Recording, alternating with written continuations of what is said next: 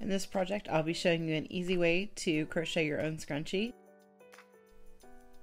I'm going to start off using two different colors of worsted weight yarn, a size N crochet hook. You could go down a size to a L or K depending on how you crochet. I tend to crochet tight, so I need a bigger hook. Then we'll also need a darning needle. I like using one with a large eye to get the yarn through there. And then we need a hair tie, and I just pick a pack of these up at the Dollar Tree, and I use them for a couple projects. And don't forget scissors, we'll need those at the end. The first thing we're going to do is create a slip knot. Once I get the slip knot on my hook, I'm going to grab my hair tie and I'm going to put it on the back end of my hook here just so I can thread it. Right, now start working on the hair tie.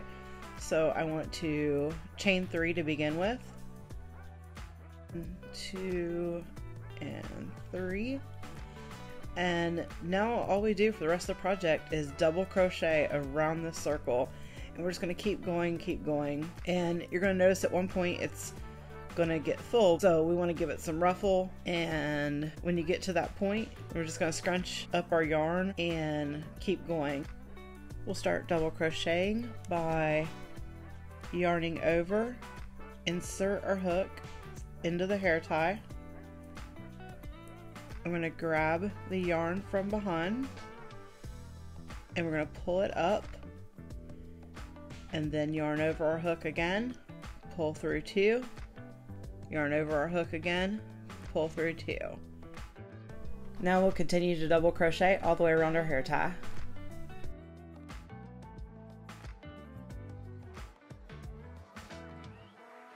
Just going to take a little pause here to show you how to show you what I meant by needing to scrunch it up. So you can see here I've pretty much gone all the way around my hair tie, but it's flat. So I am just going to pull it down here and give myself some more room to work.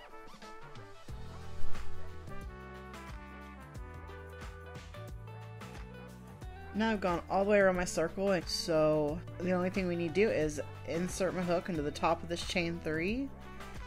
I'm to pull my yarn through that and then pull my yarn through again. And then cut off my tail and then pull that through all the way. Make a knot there. And now all I have to do is weave in my ends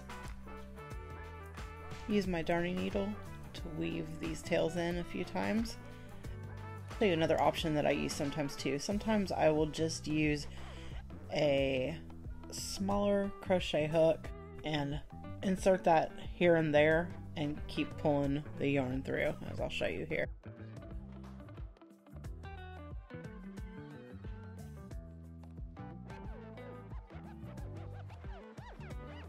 I get all these ends weaved in a little bit. I'll snip off the tails and we're all done.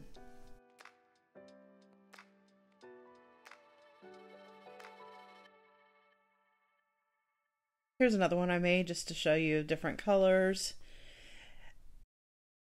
This one is actually only using one strand of the worsted weight yarn and I used this variegated leftover yarn I had so this is just how it came out. Now using only one strand of yarn, I would use a smaller size hook. Like I used a K on this one. You could do a solid with just one strand if you wanted to. Totally your choice. You can have some options. It's still the basic concept of double crocheting all the way around. other option is you can make a thicker one.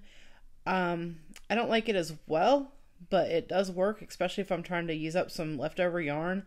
This is a six bulky. It just doesn't ruffle as well if at all. So just depends on what look you're going for. Feel free to play around with them. They don't take much yarn. And like I said, pick up a pack of the hair ties from the Dollar Tree and you can make a bunch of them. You can even buy your yarn there. This purple just yarn is Dollar Tree yarn. And I love the color of it.